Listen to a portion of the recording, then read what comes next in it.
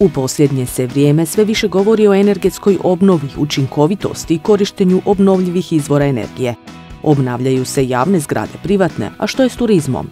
Turistički sektor je na tržištu.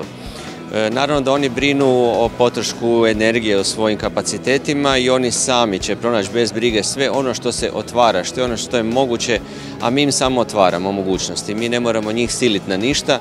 Da pače, čini se da je energetska učinkovitost i korištenje obnovljivih izvora energije u turizmu postalo ne samo ekološki zahtjev, već i dodana vrijednost u ponudi. Spomenuo sam uh, Travel uh, Life certifikat.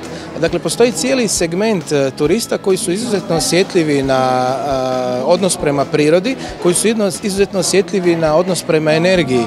Takvi turisti žele upravo boraviti u prostorima koji su prirod, sa prirodnim ljepotama, ali i u sredinama gdje se prema tim prirodnim ljepotama ljudi odnose vrlo odgovorno. Nije tu riječ samo o selektiranju otpada, već i o energetskoj učinkovitosti. I kada je sve to u pitanju, kod takvih turista kompromisa nema. Međutim, kada se govori o širokoj turističkoj ponudi, čini se da izazov mogu predstavljati zgrade kulturne baštine. Njihova energetska obnova trenutno je poprilično komplicirana. Ono što je naznaka i što nas izrazito veseli, na primjer u gradu Karlovcu, jest e, činjenica da je Ministarstvo kulture pristupilo izradi smjernica koje bi se koristile kao jedna e, tehnička platforma upravo za e, dubinsku energetsku obnovu kulturne baštine, odnosno projekata koji su pojedinačna ili cjelovita zaštićena kulturna dobra. A kad se već govori o turizmu, bilo bi dobro da se o energetskoj učinkovitosti i korištenju obnovljivih izvora energije pita one koji se tom djelatnošću i bave.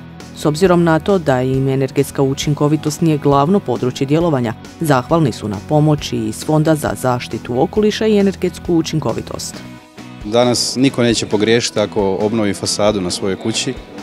Također ako promijeni vanjske zatvore, prozore, recimo tako, znači ako to napravi i ako stavi barem dva panela e, solara za pripremu potrošne tople vode. Evo to su ulaganja danas koja će se svakom čovjeku u vrlo kratkom roku isplatiti. Bilo da je riječ o obiteljskim kućama ili turističkim objektima. A kad ta činjenica bude široko prihvaćena u javnosti, manje ćemo brinuti o tome ispunjavamo li zahtjeve koje smo si zadali da ćemo zadovoljiti u iduće dvije godine a možda i privući veći broj turista koji uz lijepu prirodu cijene i ekološku osvještenost.